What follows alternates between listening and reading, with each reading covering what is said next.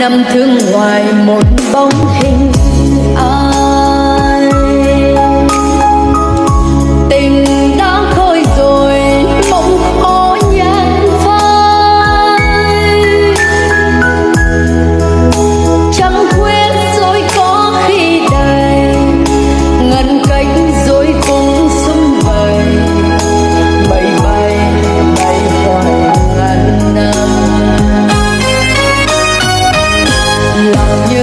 con thuyền đổ bên